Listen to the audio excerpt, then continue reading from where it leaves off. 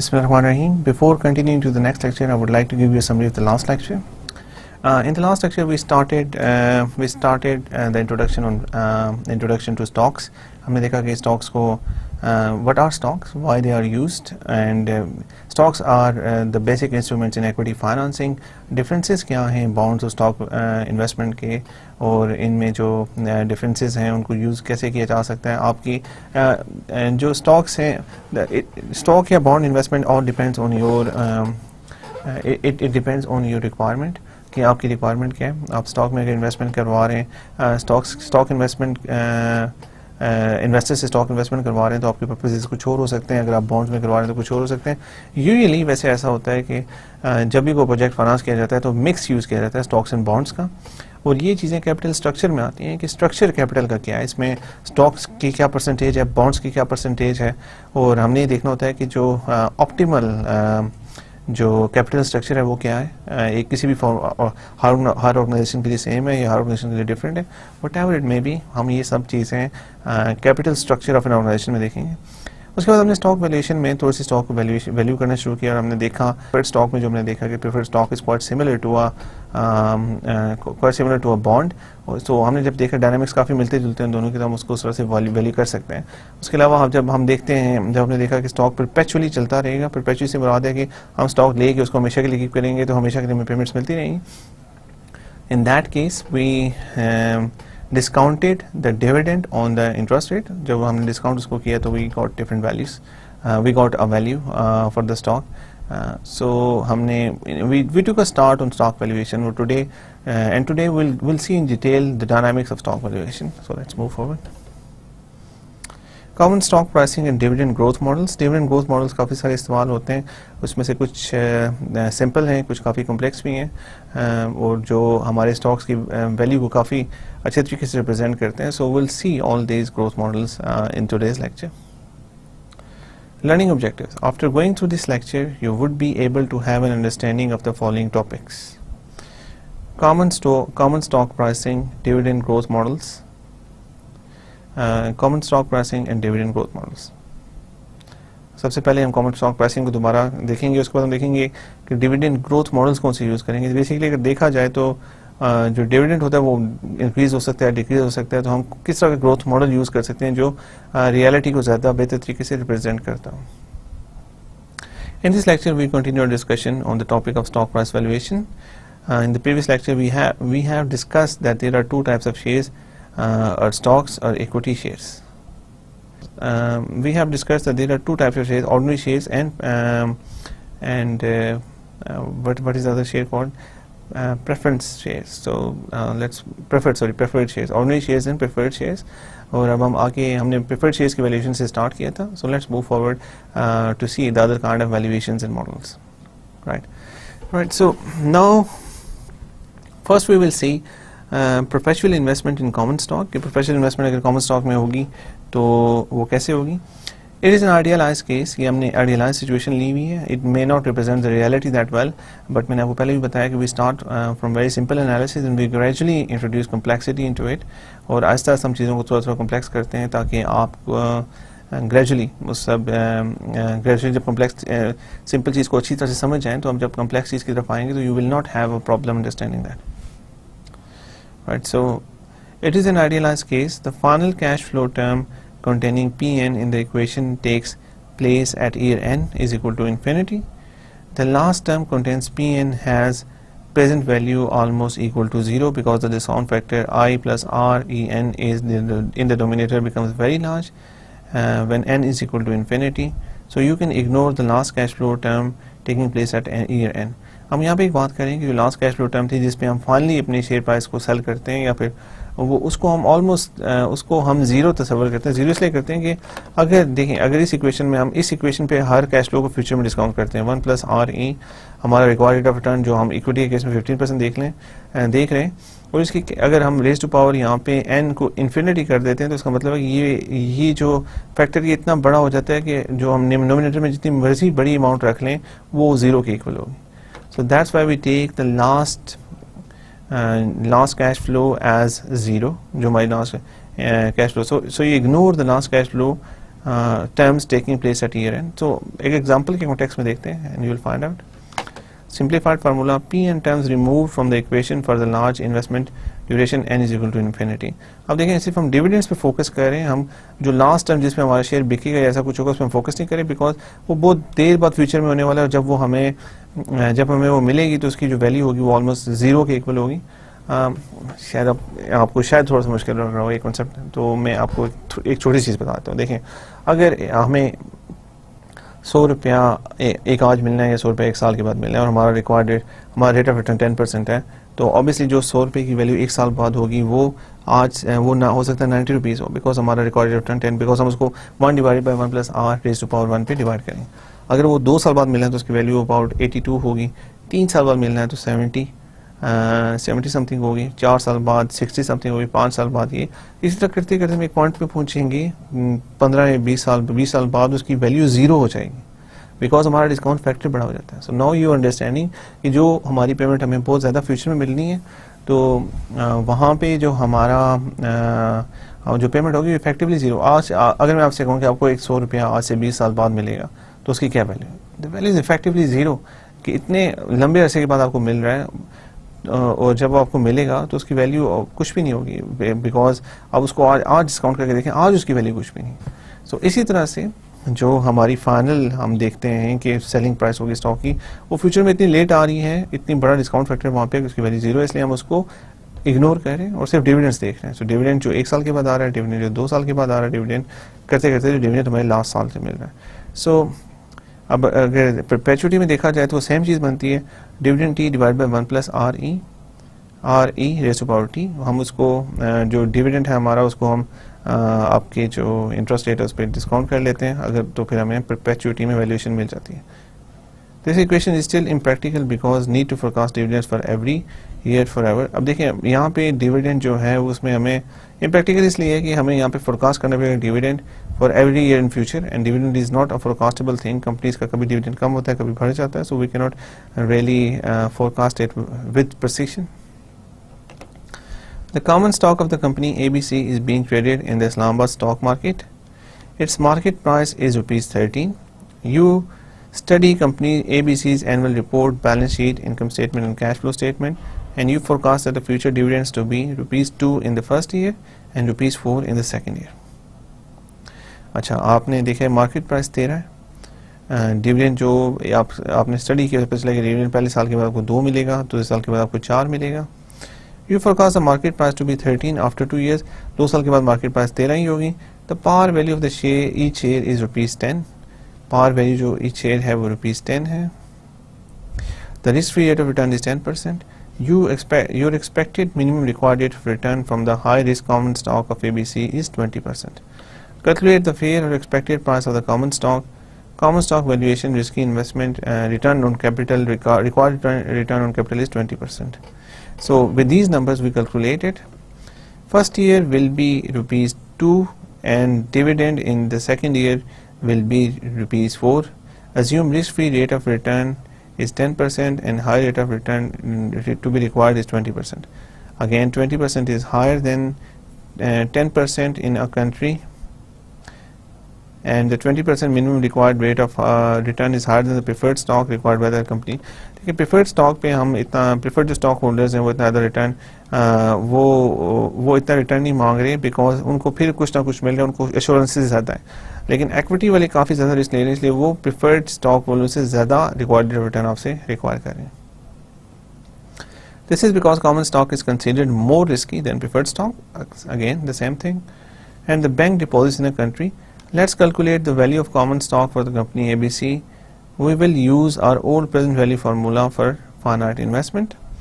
देखें present value पहले साल हमें डिविडेंड दो मिला divided by one dot two यहाँ पे this is a typing mistake type और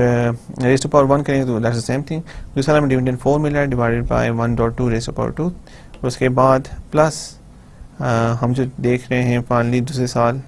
that is again a typo three जो हमारी फाइनल जो प्राइस है uh, जिसपे हम से एक्सपेक्ट करते थे शेयर को सेल करने वो थर्टीन थी. That's the type that is not one point three that is thirteen thirteen divide by one dot two power two so इस इक्वेशन का रिज़ल्ट हमारे पास आ जाता है. दोबारा से आप देख लें आप ज़्यादा क्लियर है. Two divide by one dot two four divide by one dot two raise to power two thirteen जो फाइनल सेलिंग प्राइस है divide by one dot two raise to power two तो हमारे पास जो फेयर वैल्यू आ रही है share की वो थर्टीन डॉट फोर सेवन है. This is estimated price for the second year investment based on forecasted dividend let's see the long term investment use present value formula about uh, which we talked about uh, on perpetual investment. We cannot determine it because we don't have dividend forecast for every year forever. देखिए we cannot um, forecast dividend for every year forever. So इसलिए हम perpetual value से find नहीं कर सकते. We need to use models for approximating future dividend cash flows. हमें कोई ऐसे models चाहिए जिससे हम approximate कर सकें फ्यूचर जो कैश फ्लोज डिविडेंड की जो कैश कैश फ्लोज होगी जो उसका हमें एक कोई फोरकास्ट दे सके। So for that we use we use zero growth model and constant growth model हम ज़ीरो ग्रोथ मॉडल और कॉन्स्टेंट ग्रोथ मॉडल के लिए यूज़ करेंगे। Um, और अभी हम विल सी नाउ कि what is zero growth model what is constant growth model and how it is used So we start from the preferred stock. These stocks are regular, constant, fixed, future dividends uh, dividend certain for preferred shareholders. Use old perpetuity cash flow pattern and formulas to estimate theoretical paid stock price. इसमें जैसा कि हमने देखा था last time कि क्योंकि it is very it is very similar to the bonds we can use the same old perpetuity cash flow pattern and formulas to estimate the theoretical paid short stock price अब common stock में जब आते हैं and these stocks have variable future dividend expected by common shareholders इसमें जो future dividends हैं that is these are variable use zero and constant growth models to specify future dividend forecast in estimated theoretical stock price or PV equation अब यहाँ पे हम zero growth या constant growth models use करेंगे future dividends को find करने के लिए सो uh, so पहले हम ये देखेंगे कि वट आर दिस मॉडल्स ये कैसे करते हैं फिर करने के बाद हम उस जो जो हमें रिज़ल्ट मिलेंगे उनको हम थ्योरेटिकल स्टॉक प्राइस इक्वेशन में डाल के अपने रिज़ल्ट देखेंगे। दे common soft the dividend depend upon the income earn by the company and also upon the management decision regarding dividend declaration both stocks represent ownership of real assets in the company Dividends are the shareholders' portion of the distributed net income. The value of direct securities piece of paper derived from cash flows generated from the underlying real asset. Uh, so we have discussed these things before, so I will not spend a lot of time on these. Investment, now let's talk about investment time horizons. There are two types of investment time horizons. Number one, finite, finite investment. Finite investment means in this duration of our investment is limited. Duration of the investment is limited. Cash flow from forecasting selling price must be taken into account in price estimation. So cash flow from forecasting selling price is taken into account uh, in price estimates because we will get dividends but finally we will uh, we will sell the share and we will get some amount from that उसको भी हम अपने analysis में use करेंगे second is perpetual investment it is very long term uh, horizon for long term investment It is perpetual so forecasted selling price not significant and can uh, can be eliminated. जैसा कि मैंने last lecture में भी अभी थोड़ी देर पहले भी आपसे डिस्कस किया कि जब हम परपेचुअल फोरकास्ट में जाते हैं तो फिर हम डिविडेंड्स देखते हैं हम लास्ट फाइनल सेलिंग प्राइस नहीं देखते बिकॉज़ अगर हम बहुत लंबे अरसे बाद सेल करेंगे भी तो जितने हमें रिटर्न मिलेगा जो से वो ऑलमोस्ट ज़ीरो के इक्वल होगा so we can eliminate the last time you are planning to buy and hold the share for 20 to 30 years then you can consider it as long term assets अगर आप एक share को bye करके 20 साल के लिए hold uh, करना चाहते हैं देन 20 या 30 साल के लिए होल्ड करना चाहते हैं then you can consider the long term asset The formulas for the theoretical price valuation vary depending upon the time horizon. Um, formula for the theoretical price जो होते हैं वो वेरी uh, करते हैं depending on the time horizon अगर वो short time horizon है तो फिर हम उसको Uh, उसमें जो हमारी फाइनल सेलिंग प्राइस है, उसको इंक्लूड करेंगे। लेकिन अगर लॉन्ग टर्म हॉराइजन है 20 टू थर्टी इयर्स तो हम प्रोपेशनल कंसर्न लेंगे, उसमें सिर्फ़ हम डिविडेंड्स देखेंगे। आपकी फाइनल सेलिंग फाइनल जो शेयर सेलिंग प्राइस होगी, जब इसमें आप सेल कर देंगे, वो नहीं देखेंगे। As in the previous lecture the formula for preferred share varies depending on whether you time horizon is finite और प्रोपेचुअल सो फाइनाइट और प्रोपेचुअल का जो डिफरेंस है टाइम हॉराइजन का आप just discuss with you that difference similarly in investment in the share for the period of one और two years value of a share which is a direct claim security can be estimated based on cash flows that it generates so the most important thing this is a share a share is a direct claim security and a direct claim security uh, will generate some cash flows और उन cash flows की basis पे हम उसकी valuation generate करेंगे a share generate cash flows just like real asset project generate cash cash income obviously जो share हैं वो भी एक real real life asset की तरह cash income generate करते हैं let us compare both common shares and preferred shares with the help of numerical example. So now let us compare common shares and preferred shares with the help of a numerical example. Example, company ABC has issued two types of shares, both par value is equal to 10. A company, uh, a company has issued two types of shares uh, with a par value of 10 and you are considering investing in both shares for two years because you think that the price will rise to rupees 13 by then. अब देखें par value 10 है, आप expect करें कि दो साल में उसकी प्राइस 13 हो जाएगी and you are considering investing in both type of shares the market risk free rate of return the opportunity cost your opportunity cost of capital is 10 percent per annum. Dividend fix by the company at rupees two per share per share per year जो company ने dividend fix किया है rupees two per share per year किया ये मैं preferred shares के लिए देख रहा हूँ. Your required rate of return for for this risky preferred share is 15 percent um, जो प्रिफर्ड शेयर है उसके लिए आपका required rate of return 15 percent है. This is rate of return that you expect to get if you take risk of investing the money in preferred shares Preferred shares. Are considered to be more risky than deposits in the bank, so our required rate of return in the case of preferred stock would be higher than 10%. देखिए हमारा required हमारा जो market risk free risk free return है जो market risk return से ये मुराद है कि हम बैंक में पैसे रखवा सकते हैं टेन परसेंट पर अनम पे और वो रिस्क फ्री है उस पर कोई रिस्क नहीं है डिफ़ॉल्ट का कोई रिस्क नहीं है। लेकिन प्रिफर्ड शेयर्स के डिफ़ॉल्ट का रिस्क है प्रॉब्लम के साथ जो they are more risky that's why our required of return is fifteen percent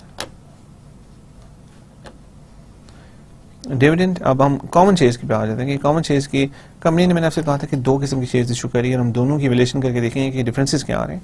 और A B A B C company ने कॉमन शेयर्स भी इशू किए हैं। डिविडेंड वेरीज जो डिविडेंड है वो उनका वेरी करता है। After analysing the company's annual reports balance sheets and income cash flows you forecast the future dividend to be 2 rupees in the first year and 4 in the second year आपने अपने सारे analysis के बाद ये अंदाज़ा लगाया कि कंपनी दो रुपीज़ डिविडेंड फ़र्स्ट ईयर में देगी और दो, चार रुपीज़ सेकंड ईयर में देगी। The required rate of return does not have to identical to required rate of return on preference shares जो रिक्वायर्ड रेट ऑफ़ रिटर्न है, ये आइडेंटिकल नहीं होगा प्रेफरेंस शेयर से। As this there is no guarantee no guarantee you are fix rate of return on common shares आपको कोई guarantee नहीं है fix rate of return your required rate of return for the more risky common shares is twenty percent जैसे कि हम पहले भी देख चुके हैं कि ordinary shares are the most risky shares इसलिए हम उसमें जो इन्वेस्टमेंट करेंगे उसके लिए हमारा रिक्वायर्ड रिटर्न हाईएस्ट होगा। प्रिफर्ड शेयर्स इनसे थोड़ा सा लेस रिस्की बिकॉज़ उन्हें आपसे एक कौन इनकम भी मिल रही है और in case of default you know that you will be you will be compensated first compensated before the common share holders तो इसलिए इसकी uh, जो प्रेफर्ड शेयर्स हैं वो थोड़े से इनसे कम रिस्की हैं। उन पे हमारा रिक्वायर्ड ऑफ़ रिटर्न बस 15 परसेंट और सो जो risk free required rate of market rate of return है जो हम uh, अपने पैसे बैंक में रख सकते हैं जिसमें हमें जो प्रॉफिट होगा जो प्रॉफिट जो हमें ट्रेड मिल रहा है, वो रिस्क फ्री है कि वो हमारा डिफ़ॉल्ट करने का कोई चांस नहीं है, वो टेन परसेंट है। Finally based upon the analysis of the financial statement of your company you expect that the price of share will rise to rupees thirteen after two years आप expect करें जो price है, वो rise करेगी rupees thirteen after two years so मैंने dynamics आपको बता दिए मैंने नंबर्स बता दिए आपको प्रेफर्ड शेयर्स के क्या हैं और कॉमन शेयर्स के क्या हैं। So let's move forward You plan to look at different investment cases. You are interested in estimating what the theoretical price for uh, of this share should be if you invest perpetually, and you are also interested in the price of the share if you invest for a short period of time. So हम ये देखना चाहते हैं कि अगर हम perpetually invest करें long term concern के साथ अगर हम 20 या 30 साल के लिए इन्वेस्टमेंट करें तो we take it as perpetually और हम ये भी देखना चाहते हैं अगर हम फाइनाट अगर शॉर्ट पीरियड ऑफ़ टाइम के लिए इन्वेस्टमेंट करें तो हमें हमारे क्या रिटर्न होंगे both on preferred shares and common shares so let's see So for the case of preferred stock, we calculate the expected market price for long-term uh, investment would be. So preferred stake से uh, हम देखते हैं preferred preferred stock पे हम start करते हैं analysis को. Solution. Preferred stock risk risky investment जो आपका required rate of return है वो इसके ऊपर 15% है जो मैंने आपको पहले बताया. That is greater than 10 percent जो रिस्क फ्री रिटर्न रेट है जो अपना बैंक में पैसे रख के आप रिटर्न बना सकते हैं so perpetual is simple perpetual में सिर्फ़ हमने देखना है कि डिविडेंड क्या मिलना है उसको डिवाइड कर देना है आपने आपके रिक्वायर्ड रेट ऑफ़ रिटर्न पे। सो so, हमने देखा था कि in case of preferred stock rupees two per share come dividend is fix as rupees two per share so जो डिविडेंड है that is fix at rupees two per share your required rate of return is 15 percent divide two by 15 percent and you will get 13.33 so अगर हम perpetual investment लेते हैं तो जो इस share की इंट्रेंसिक वैल्यू आ रही है that is thirteen dot three three three अगर हम फिर फाइनाट फाइनाट इन्वेस्टमेंट केस में जाते हैं तो दो साल का हम डिविडेंड देखेंगे और फाइनली जिस पे हमारी शेयर शेयर सेल होगा, वो प्राइस देखेंगे। पहले साल का डिविडेंड जो हम देख रहे हैं that is equal to two divide by one dot one five क्योंकि एक साल का dividend it's one two divide by one dot one five raise power two ये दो साल के बाद हमें डिविडेंड मिलना है। Plus thirteen divide by one dot one five raise power two और ये जो हमारी ओरिजिनल पेमेंट तेरह तेरह का हम ये दो साल के बाद बेच देंगे और ये हमारे पास आ जाएगा। सो so, जो फाइनाइट के साथ हमारे पास प्रिफर्ड स्टॉक की पहले आते है that is thirteen dot zero eight जो इन फाइनाइट के साथ वैल्यू आई थी उससे जो फाइनाइट की वैल्यू वो कम है। ऑब्वियसली ये बहुत लॉन्ग टर्म के लिए है कि हम बहुत लॉन्ग टर्म के लिए अगर होल्ड करेंगे हम डिविडेंड पेमेंट्स लेते रहेंगे तो हमें ये फ़ायदा होगा और अगर हम दो साल के लिए सिर्फ़ होल्ड करेंगे उसको सेल कर देंगे तो हमें ये फ़ायदा हो so that is the valuation of the stock in both the cases now coming to the common stock valuation Common stock valuation, more risky investment. That's why our required rate of return is 20%. Uh, perpetual investment, PB is equal to uh, find out we don't have enough dividend forecast data in order to calculate the value of 20 or 30 years from now. Uh, we discuss the solution of this problem later in this lecture. Here 1.2 is 1 plus 20 percent. We use rupees 13 because we expect to sell this year. Right so first thing is कि हम perpetual इसके लिए value नहीं निकाल सकते because हमारे पास हमें ये नहीं पता कि कौन सा डिविडेंड डिविडेंड जो है वो आ, अगर हम फोरकास्ट करने के लिए जा रहे हैं तो आ, वो किस तरह से फोरकास्ट किया जाए? हम सबसे पहले इस लेक्चर की बात थोड़ा सा आगे जाके इस लेक्चर में देखेंगे कि डिविडेंड को हमने फोरकास्ट कैसे करना है। एक तो हम डिविडेंड फोरकास्टिंग अपनी क्लियर कर लेंगे तो उसके बाद हम इस पार्ट पे आएँगे कि हम कॉमन स्टॉक की परपेचुअल वैल्यूएशन कैसे फाइंड करेंगे। जब हम एक फाइनाइट पीरियड के लिए, अब हम देखते हैं कॉमन ऑर्डनरी स्टॉक हमने दो साल के लिए होल्ड करना है, दो साल के बाद सेल करना है तो इन दैट केस क्या होगा? सबसे पहली चीज़ हमारा रेट ऑफ़ रिटर्न होगा, इसके ऊपर रिक्वायर्ड रिटर्न ट्वेंटी परसेंट है because the stocks are more risky than preferred stocks तो हम जो रिक्वायर्ड रेट ऑफ़ रिटर्न यहाँ पे रख रहे हैं वो हम ट्वेंटी परसेंट रख रहे हैं. Right so we use rupees thirteen because we expect to sell the share for rupees thirteen after two years so हम तेरह तेरह का, तेरह रुपीज़ का इसको सेल करने का एक्सपेक्ट करें right so let's see what is the value two year final value parent value दो हमने डिविडेंड रुपीज़ टू हमने आपको नंबर्स में दोबारा दिखाता हूँ ताकि वो कन्फ्यूज़न ना रहे।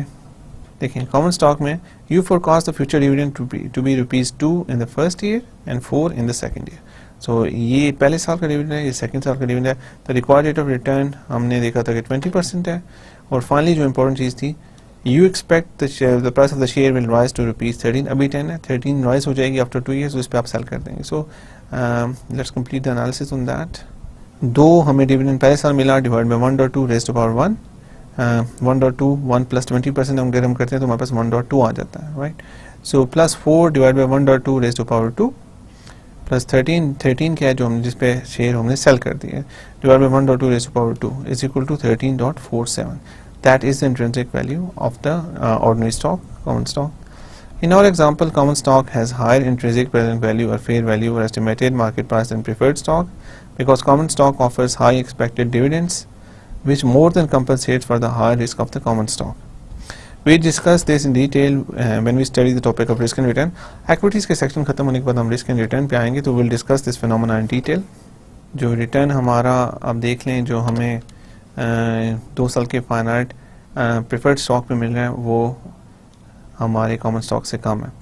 और वो इस वजह से है कि कॉमन स्टॉक और मोर की that's why companies are offering more dividends to attract the investors in for this investment और जो हमें एक्स्ट्रा डिविडेंड्स मिल रहे हैं that more than compensate for the extra risk we are taking now will start with share values fair value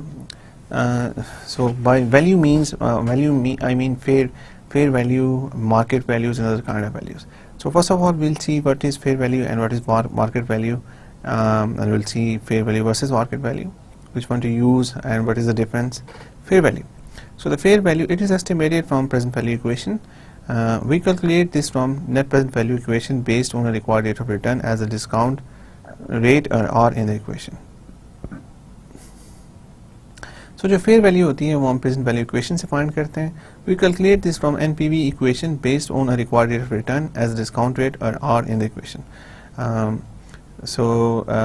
हमने अभी काफ़ी पहले हम इंट्रेंसिक वैल्यू फेयर वैल्यू काफ़ी दफ़ा फाइंड भी कर चुके हैं। अभी हमने uh, थोड़ी देर पहले ऑर्डनरी शेयर्स की फेयर वैल्यू फाइंड की है। ऑर्डनरी शेयर की हमने उसके अलावा प्रेफर्ड शेयर्स की हमने परपेचुअल मेथड से और पानाइड मेथड दोनों मेथड से हमने फेयर वैल्यूज़ फाइंड की हैं। सो so, याद रखिए कि जो भी वैल्यू हम प्रेजेंट वैल्यू इक्वेशन से फाइंड करते हैं that is called fair value this is very important to understand because the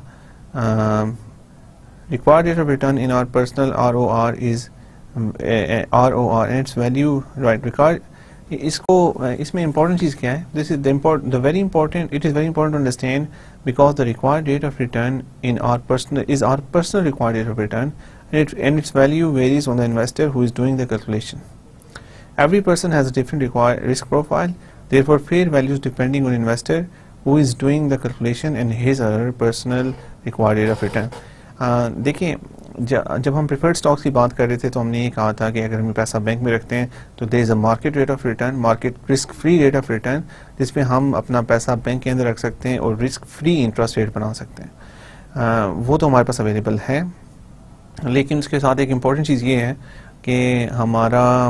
हमारा हमारा रिस्क रेट ऑफ़ रिटर्न तो वो है लेकिन आ, अगर हम किसी उससे ज़्यादा रिस्की चीज़ में इन्वेस्ट करना चाहेंगे तो हमारा रिक्वायर्ड ऑफ़ रिटर्न से ज़्यादा होगा लेकिन कितना ज़्यादा होगा ये हर इन्वेस्टर का डिपेंड होगा। देखें ये हम रिस्क में जब जाएँगे तो ऑब्वियसली हम डिटेल में देखेंगे कि कुछ invest investors most of the investors are risk averse हर बंदा ही चाहता है कि मैं रिस्क कम से कम लूँ but some investors are risk loving as well उन्हें रिस्क लेना पसंद भी है सो उनका रिक्वायर्ड रिटर्न हो सकता है कि उतना ज़्यादा हाई ना हो. If you are very risk averse और आपको स्टॉक्स में इन्वेस्टमेंट करनी पड़ी है तो your required of return can be very high so ये बात याद रखें दिस इज़ इंपॉर्टेंट आप इस पी, इस चीज़ पे जब आप, जब भी आप प्रेजेंट वैल्यूज़ देखते हैं तो वो बेस्ड हो, प्रेजेंट वैल्यू एनालिसिस जो सारा होता है जो भी हम पीछे करते आ रहे हैं फेयर वैल्यूज़ के लिए एनपी इक्वेशन में, वो they are based that is based on required rate of return and the required rate of return is different for every person इसलिए जो फेयर वैल्यू होगी, वो हर बंदे के लिए डिफरेंट होगी। दैट्स वाई मैं बार बार ये फोकस कर रहा हूँ कि आप सिर्फ़ नंबर्स को just for the sake of the numbers note ना करें या इक्वेशंस को याद करने का कोई फ़ायदा नहीं है। आपको पता होना चाहिए कि रिक्वायर्ड ऑफ़ रिटर्न आपका डिफरेंट है हर बंदे का डिफरेंट होगा। अगर required of rate of return different है तो वो आ, अगर रिक्वायर्ड ऑफ़ रिटर्न डिफरेंट है तो उनसे जो एनालिसिस का रिज़ल्ट आएगा वो डिफरेंट आएगा। सो so, आपको ये फोकस करना है कि आपका जो रिक्वायर्ड रेट ऑफ़ रिटर्न है वो आपने जो यूज़ किया है उसकी बेसिस पे आपके पास सही जो रिटर्न आ रहा है वो क्या सही है कि नहीं है। आपने उसको, आप उसको डायरेक्टली कंपेयर नहीं कर सकते किसी और बंदे के साथ बिकॉज़ हो सकता है उसका रिक्वायर्ड रेट ऑफ़ रिटर्न कुछ डिफरेंट हो। This is a bit complex लेकिन हम जब आप रिस्क प्रोफाइल्स पढ़ेंगे रिस्क पढ़ेंगे तो ये काफ़ी चीज़ें आपको क्लियर हो जाएँगी। Now coming to market price it is actual price which at which it is bought और सोल्ड ये एक्चुअल प्राइस है जो मार्केट में हमें मिल रही होती है शेयर्स के लिए जिसमें जिसमें हम बाय या सेल कर रहे होते हैं। It is determined by shares demand and supply in investors' perception and psychology about the companies behind the share. Market price is almost identical for everyone. अब देखें फेयर वैल्यू हर शेयर की different हो सकती है, लेकिन मार्केट प्राइस सेम है इसलिए कि मार्केट प्राइस वो प्राइस है जो स्टॉक मार्केट में कोट हो रही होती है, जो हम, जिसपे हम बाय कर सकते हैं सेल कर सकते हैं और वो किस पे डिपेंड करती है वो डिपेंड करती है डिमांड सप्लाई शेयर की इन्वेस्टर्स परसेप्शन साइकोलॉजी और क्या न्यूज़ आ रही है कंपनी क्या इन्वेस्टमेंट्स कर रही है उसके सब चीज़ों पे ये डिपेंड करता है कि मार्केट प्राइस कैसी है? मार्केट प्राइस हर बंदे के लिए सेम होती है लेकिन फेयर प्राइस हर बंदे की डिफरेंट होती है। इसीलिए कुछ लोग जिनकी जिनके लिए जिनको लग रहा होता है जो different rate of return use कर रहे हैं कुछ लोग ऐसे होंगे जो बाय कर रहे होंगे बिकॉज़ उनके लिए शेयर यूजफुल है कुछ लोग ऐसे होंगे जो सेल कर रहे होंगे उनके लिए शेयर उनके रिक्वायर्ड रेट ऑफ़ रिटर्न को शेयर पूरा नहीं कर रहा। So that's why every investor has different perception अगर सब लोग सब लोगों की एक ही फेयर वैल्यू हो तो फिर uh, फिर ट्रांजेक्शन और वो फिर फिर तो वो मार्केट वैल्यू बन जाएगी। That will not be share that will not be intrinsic और इंट्रेंसिक वैल्यू और fair value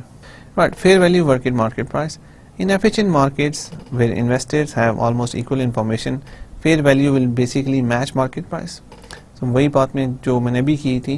कि जो मार्केट्स एफिशिएंट हैं, जिसमें एफिशिएंट मार्केट्स क्या होती हैं, ये एफिशिएंट मार्केट एनालिसिस भी हम देखेंगे। लेकिन अभी मैं बता दूँ एफिशिएंट मार्केट्स होते हैं जैसे ही कोई इन्फॉर्मेशन या कोई भी चीज़ किसी शेयर के बारे में किसी पता चलती है, वो बड़ी जल्दी मार्केट में पहुँच जाती है और बड़ी जल्दी शेयर मार्केट प्राइस उसको रिफ्लेक्ट करना शुरू कर देती है। इन एफिशिएंट मार्केट्स में investors have almost equal information अब इन, जो एफिशिएंट मार्केट्स हैं, जहाँ पे सब इन्वेस्टर्स के पास इक्वल इन्फॉर्मेशन है तो वहाँ पे जो फेयर वैल्यू होगी, वो मार्केट वैल्यू के बराबर होगी। But temporarily they can differ temporarily वो डिफर भी कर सकती हैं। देन वॉट हैपन्स अगर डिफर कर रही हैं तो फिर कुछ लोग बाय करेंगे, कुछ सेल करें होंगे और इसलिए कुछ लोग पैसे बनाते हैं, कुछ लोग पैसे लूज करते हैं। You you think that whether whether the price of the thing purchase by you have that much price are not similar question will be asked in share trading you you think that whether the price of the thing you purchase by you have that that much price are not so basically जब आप कुछ चीज़ bye करते हैं तो आप सोचते हैं कि यार इसकी बाकी प्राइस है कि नहीं है तो शेयर वैल्यूज़ में भी ऐसे ही होता है, जो फेयर वैल्यूज़ जो फेयर वैल्यू हर बंदा अपनी निकाल रहा होता है और देख रहा होता है कि वो based on based on his information based on his required rate of return और उसके बाद, लेकिन अगर ये मार्केट एफिशिएंट है तो ये स्लोली कन्वर्ज करती है और मार्केट प्राइस के इक्वल हो जाती है। Right if the market price is less than fair value then the stock is under valued by the It is a bargain and investor will rush to buy it अगर अब देखें अगर overall investors जो सारे देख रहे हैं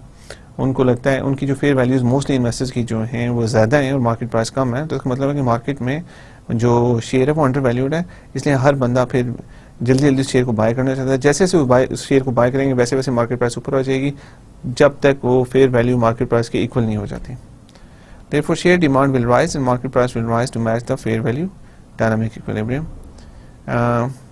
if the if the market price is greater than fair value then the stock is overvalued uh, then the stock is overvalued अब मार्केट प्राइस ज़्यादा है और फिर वैल्यू कम है तो फिर लोग उसको सेल करना शुरू कर देंगे बिकॉज उन्हें पता है कि मार्केट में उसकी वैल्यू ज़्यादा है लेकिन जो उन्हें फेयर वैल्यू कैलकुलेट की वो कम है तो when they start selling the share price will come will come down until they equilibrate. Share price valuation, perpetual investment in common stock. Perpetual investment in common stock, the PV formula would require us to make dividend forecast for every year in future. देखिए perpetual investment in common stock हम देख रहे थे कि वही हमें problem ये था perpetual investment in common stock find करने में कि we can not we were not able to find a mechanism to uh, to forecast the dividends in the future इसलिए डिविडेंड्स हमें नहीं पता कि क्या होंगे uh, किस तरह की ग्रोथ होगी डिविडेंड्स की? किस साल मिलेंगे किस साल नहीं मिलेंगे, इसलिए हम परपेचुअल इन्वेस्टमेंट हम पहले नहीं कर पाए। नाउ लेट सी कि इसका क्या हल हम कर सकते हैं। The present value formula would require us to make dividend forecast for every year in future which is not feasible for us obviously this is not feasible for us therefore we cannot use the old version of P V formula we use two approaches to solve this problem सिर्फ़ हमें अब हम दो approaches use करेंगे इस problem को solve करने के लिए। Number one is zero growth dividend model A zero growth dividend model. In this, there is a fixed regular dividend cash flow stream for every year in future. This is very simple method as the dividend for the first year and the last year remain identical. It is a simple perpetuity model. इसमें हम देखते हैं इसमें हम देखते हैं कि dividend grow नहीं कर रहा अगर हम ज़ीरो ग्रोथ देखते हैं कि ज़ीरो ग्रोथ हो रही है डिविडेंड में, और हो भी सकता है कि ऑन एवरेज ज़ीरो किस साल डिविडेंड ज़्यादा हो जाए, किस साल डिविडेंड कम हो जाए, किस साल डिविडेंड बिल्कुल ना मिले तो ऑन एवरेज हो सकता है डिविडेंड उस तरह से ग्रो ना करे और कॉन्स्टेंट ग्रो वो ज़ीरो ग्रोथ इसकी रहे सो हम यहाँ पे क्या देख रहे हैं कि there is fixed regular dividends cash flow streams for every year in future. This is very simple method as the dividend for the first year and the last year remains identical it is simple perpetuity model अगर dividend हमारे पास same ही उस तरह आना शुरू हो जाता है तो वो उसी कूपन की तरह है, जो कूपन हमें बॉन्ड का एक 20 साल के लिए 30 साल के लिए पे होता रहेगा। तो then it is very easy to use a perpetuity model for that हमें सिर्फ़ डिविडेंट की वैल्यूशन देनी है, उसको रिक्वायर्ड डेट ऑफ़ रिटर्न पे हम डिस्काउंट कर लेंगे। Therefore we use perpetuity formula which is similar to preferred stocks perpetual investment except preferred dividends which are declare by the company not same as uh, common stock dividends which are estimated. Dividend जो होती है वो company declare करती है so they have more certainty लेकिन common stock का dividend है वो हमें एस्टिमेट करना पड़े सो इन दिस केस हम देखते हैं ज़ीरो ग्रोथ डिविडेंड मॉडल में जो हमारे प्रेजेंट वैल्यू आएगी P not is equal to div 1 divided plus 1 plus RCE हम जो रिक्वायर्ड रेट ऑफ़ रिटर्न उसको हम एक साल के अपना हमारा जो रिक्वायर्ड रेट ऑफ़ रिटर्न है उससे हम डिस्काउंट कर लेंगे। उस तरह यहाँ पे डिव टू होना चाहिए। Div two divide by one plus R C raise power to div three so इसका मतलब कि जो भी डिविडेंड्स आता रहेगा, उसको हम अपने रिक्वायर्ड रेट ऑफ़ रिटर्न पे डिस्काउंट करते रहेंगे। और अगर हम ऐसी हमारे पास कोई इक्वेशन आती है तो उसको हम कन्वर्ट कर सकते हैं। परपेचुटी की इक्वेशन में div one divide by R C E और हम डिविडेंड को अपने रिक्वायर्ड रेट ऑफ़ रिटर्न पे डिस्काउंट कर देंगे तो हमारे पास हमारे पास वैल्यूएशन आ जाएगी with respect to zero growth dividend model P naught is expected theoretical present price. The price depends on div 1 which is and the expected future dividend for year 1 and all other years in the future. So P naught is the expected is expected theoretical present expected theoretical present price. The price depends on div 1 which is expected future dividend for year 1 and all other years in the future. ये price depend करती है div 1 पे जो एक साल का dividend है और वही डिविडेंड होगा बाकी सब सालों के लिए, लेकिन डिस्काउंट डिफरेंट रेट्स पे होगा और हम परपेचुटी के फार्मूले से ये सारी चीज़ फाइंड आउट कर लेंगे। There is difference in the case of common stock and preferred stock देखें कॉमन स्टॉक और प्रिफर्ड स्टॉक के केस में कुछ डिफरेंस है। In the common stock we assume the constant growth we assume constant growth but in preferred stock the company has argued that preferred stock holder that he will get a fix rate of define fix rate of return common stock के case में हम हम जो करते हैं in the case of common stock we assume constant growth common stock के case में हम कांस्टेंट ग्रोथ एज्यूम करते हैं. देखें डिफरेंस जो मेन है कॉमन स्टॉक और प्रेफर्ड स्टॉक में कि कॉमन स्टॉक के केस में हम हम कॉन्स्टेंट ग्रोथ एज्यूम कर सकते हैं, लेकिन प्रेफर्ड स्टॉक में कंपनी ने हमें बताया होता है कि कौन सी फिक्स पेमेंट्स जो हैं डिविडेंड्स की मिलेंगी शेयर होल्डर को. So we don't do that in the in that case In this, we need to only to forecast the next year dividend and assume constant dividends growth at inflationary growth rate, which equals 5 to 10 percent depending on the country. So uh, हम ये देखेंगे कि जो dividend grow करेगा वो inflation के मुताबिक grow करेगा सो इन रियल टर्म्स तो डिविडेंड कुछ ग्रो नहीं कर रहा रियल टाइम से मुराद है कि इन्फ्लेशन निकालने के बाद effectively value the same value same है लेकिन हम अगर एज्यूम करते हैं कि डिविडेंड ग्रो करेगा इन्फ्लेशन के मुताबिक जितनी भी इन्फ्लेशन एक मुल्क में है तो जो डिविडेंड टी प्लस वन अगले पीरियड में होगा, वो डिविडेंड टी जो इस साल का डिविडेंड है multiply by one plus T raise to power T so T is the time in years कि कौन सा टाइम नहीं रहा है? G is equal to ten percent हम T is equal to ten अगर हम जी को टेन परसेंट पे लेते हैं। Dividend cash flow streams grows according to the discrete compound growth formula so ये मैंने आपको जो बताया div T plus one is equal to div T multiply by one plus T raise to power T T is the time in years so if you have estimated the present so in this case we are discussing about constant growth dividend models कि हम देख रहे हैं कि अगर dividend में constant growth हो last जो इससे पहले हम चीज़ देख रहे थे वो क्या था? ज़ीरो ग्रो डिविडेंड मॉडल जब ज़ीरो ग्रो डिविडेंड मॉडल हमने देखा तो उसमें हमने देखा कि you can use the perpetuity equation very simply जो हम कूपन्स uh, के केस में भी यूज़ करें you can very simply use the same equation to find out this model लेकिन अब हम आगे आते हैं तो हम कॉन्स्टेंट ग्रोथ देखते हैं। कि अगर हमारे डिविडेंड में कॉन्स्टेंट ग्रोथ आगे हो रही है तो how will be find out the perpetuity value हम जो उसकी इंट्रेंसिक वैल्यू है वो कैसे फाइंड करेंगे? हमने ये देखा है कि जो डिविडेंड होगा टी प्लस वन में वो dividend T multiply one plus T raise power कि हर साल हाँ, हमारा dividend five to ten percent increase हो रहा है depending on the inflation rate in that country So if you have estimated the present dividend and div naught or the next year dividend d1 then you can estimate all future dividends using this formula.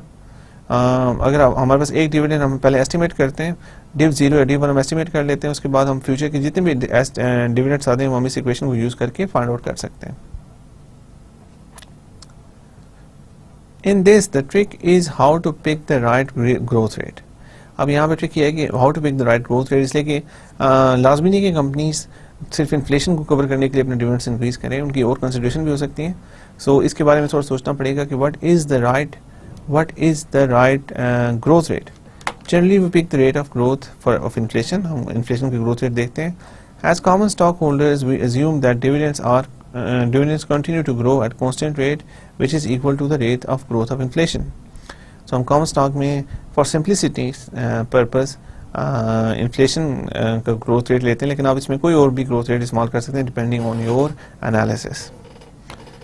if inflation is 10 percent then the dividend will grow at 10 percent you have the dividend of rupees 10 in uh, in the first year then you have dividend of rupees 10 plus 10 percent of rupees 10 which is equal to 11 percent eh, sorry 11 rupees so हम बात करते हैं कि inflation 10 ten percent है economy में then the dividend will grow at 10 percent तो जो आपका डिविडेंड होगा वो 10 परसेंट पे ग्रो करेगा। हम एज्यूम करते हैं कि पहले साल फोरकास्ट करते हैं कि पहले साल डिविडेंड है जो, वो दस रुपीज़ होगा। तो जो उससे अगले साल में डिविडेंड होगा वो ten rupees plus ten percent of ten होगा which ten percent of ten is equal to one so जो अगले साल, जो दूसरे साल हमारा डिविडेंड आ रहा है it is equal to eleven rupees constant growth dividend model में जो estimate estimated growth rate is equal to G जो जी है एस्टिमेटेड ग्रोथ रेट वो हम फाइनेंशियल स्टेटमेंट्स में जो पिछले डिविडेंट हैं, उनको, उनसे फाइंड आउट कर सकते हैं। देखें कंपनी का पुरानी फाइनेंशियल स्टेटमेंट्स उठा के देखें कि डिविडेंट्स में कितनी ग्रोथ हो रही है हर साल। तो आपको एक अगर अगर एक पुरानी कंपनी है तो आपको पुराना डेटा उठा के आपको एक आइडिया हो जाएगा कि डिविडेंड का ग्रोथ रेट क्या है और वो वाला ग्रोथ रेट आप यूज़ कर सकते हैं। इन्फ्लेशन ग्रोथ रेट पर से फाइव टू से टेन इसके अलावा इन्फ्लेशन के मुताबिक अगर आप करना चाहते हैं तो वो भी कर सकते हैं। It all depends on what you want to use in your analysis अब अगर हम प्रेजेंट वैल्यू में प्रेजेंट वैल्यू फार्मूले में जाकर इसकी इंफ्रेंसिक वैल्यू फाइंड करना चाहते हैं तो देखें जो हमारे पास इक्वेशन आ रही है that is equal to P V is equal to P not star is equal to div one one plus G अब जो हमारा डिविडेंड एक साल के बाद है, वो वन प्लस जी ग्रो करेगा divide by one plus R C आपके रिक्वायर्ड रिटर्न अब जो उसके बाद जो डिविडेंड है div one one plus G square वो ऑब्वियसली दो, जो इसके आगे डिविडेंड है वो इसके आगे ग्रो करेगा. उसको डिवाइड कर देंगे, उसके रिक्वायर्ड रिटर्न पे इसी तरह, इस तरह इक्वेशन चलती जाएगी।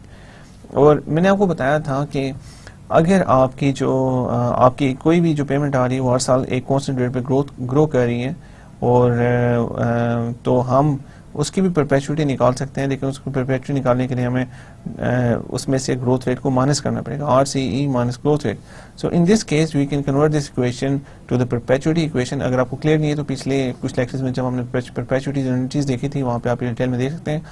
Equal to divide by R C E minus T so with this equation this equation will give us the value present value of a uh, perpetuity present value of a constant growth dividend stream. In this case, div1 is equal to dividend for the first year. In this, we can derive the answer as sum of geometric series growing perpetuity formula. Right, so let's uh, let's finally cover this example. You are considering making a very long-term investment in the common stock of a com of company ABC. अब एक company ABC की common stock में एक बहुत बड़ी बहुत long term investment करना चाहते हैं। Your required rate of return on the investment based on risk is twenty percent your required rate of return based on investment is twenty percent required rate of return the present dividend offered by company ABC is rupees four अभी जो present dividend company offer कर है वो चार रुपये par value is rupees ten जो power value है वो दस रुपये है। Dividend yield pricing for common stock under professional investment अब हम देखना चाहते हैं dividend yield pricing for common stock using perpetual investment so वही चीज़ जो अभी हमने यहाँ फाइंड आउट करती है, हम देखना चाहते हैं। सो लेट्स द नंबर जब हम ज़ीरो ग्रोथ मॉडल प्राइसिंग के साथ जाते हैं तो present value P not is equal to D one divided by R C E is equal to four divided by अब देखें four divided by point zero करें four what is four four is the dividend and twenty percent is your required rate of return so we just divide four जब हम zero growth model से करेंगे तो हम जो डिविडेंड में growth है वो नहीं देख रहे। सिंपली हम डिविडेंड uh, को डिवाइड करें you require rate of return so when you divide four by point two zero it comes out to be twenty present value आपके पास ट्वेंटी आ जाती है with zero growth model pricing अब constant growth model में हम assume करते हैं कि G is equal to ten percent कि इन्फ्लेशन अगर टेन परसेंट है तो उस पर अगर हम ग्रो कर रहे हैं अपने डिविडेंड को तो हमारे पास जो इक्वेशन आ जाती है वही इक्वेशन है P not is to div one divided by your required rate of return minus T जैसा कि हमने यहाँ पे ये डिराइव की थी equation so the dividend in this case is four again and your required rate of return is twenty percent your constant growth rate is 10%. That's why the value of the constant growing Uh, uh, constant growth model pricing is 40. Now interpretation of the results. Constant growth pricing gives a higher estimate of present price because it assumes perpetual 10% compounding growth in dividends forever. देखें so इस case में dividend increase नहीं हो रहा तो obviously इसकी जो valuation कम है इस केस में हम एज्यूम करेंगे डिविडेंड रेट जो जी पे कॉन्स्टेंटली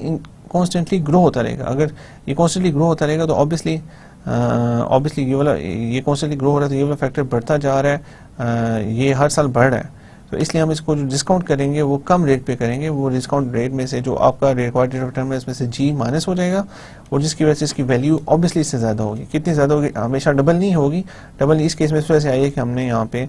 टेन परसेंट लिया है जो एग्जैक्टली हाफ़ है ट्वेंटी परसेंट के। ये कुछ और भी हो सकता है लेकिन I just want to tell you कि अगर कांस्टेंट ग्रोथ मॉडल से हम वैल्यू निकालेंगे तो वो ज़ीरो ग्रोथ मॉडल से ऑलवेज ज़्यादा होगी because in this case dividend is not growing but in in this case dividend is growing Right, so uh, today we saw many uh,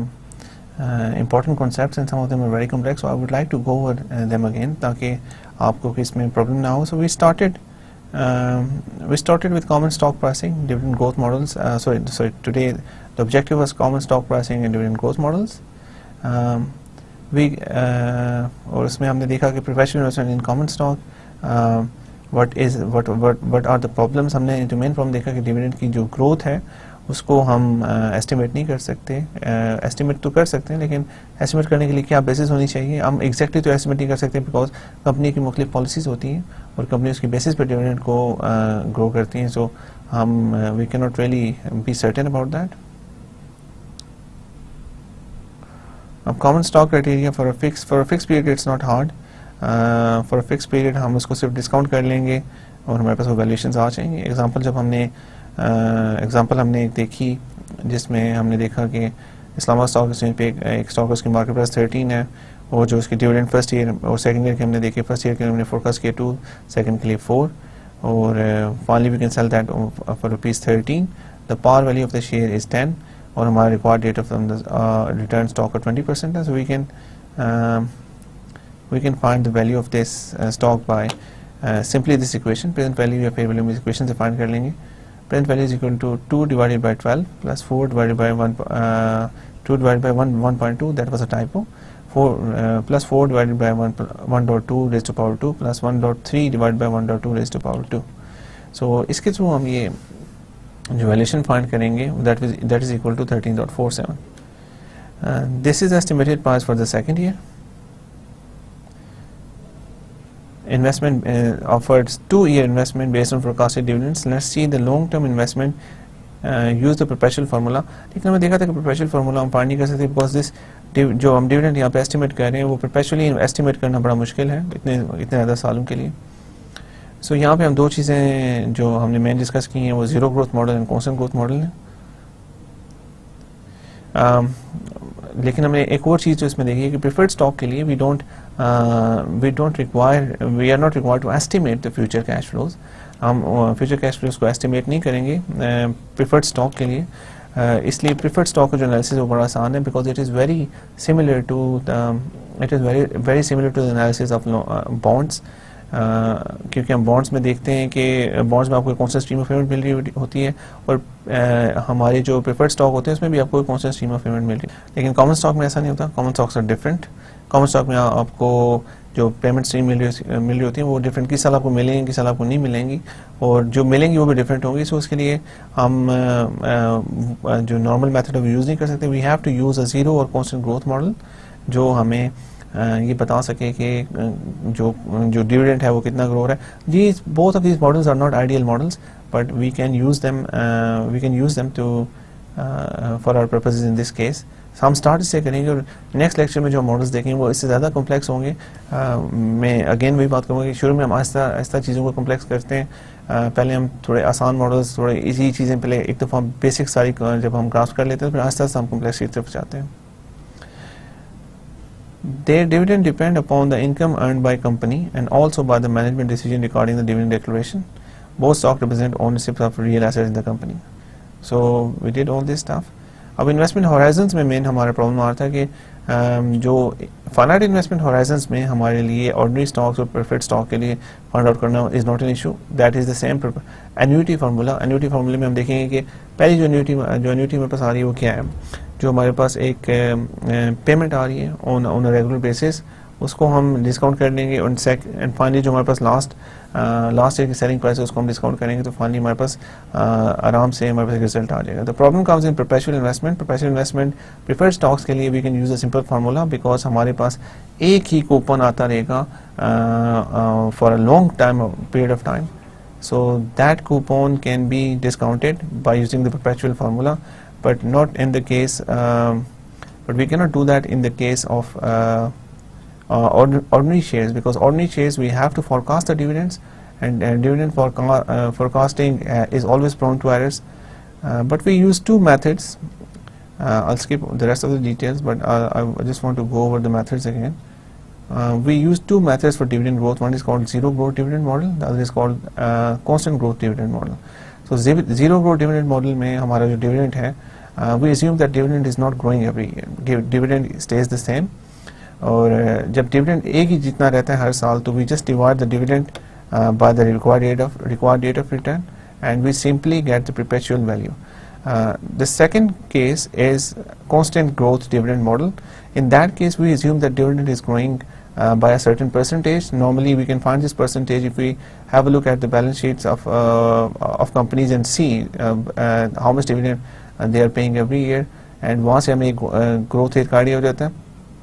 अगर वो अवेलेबल नहीं है तो we can use inflation rate as a growth rate of dividend rate if we use that Uh, then we we just have to forecast first year dividend and after that we can just uh, simply use this equation to find all of the dividends using the growth rate equation and if we have an equation like this we just have to um,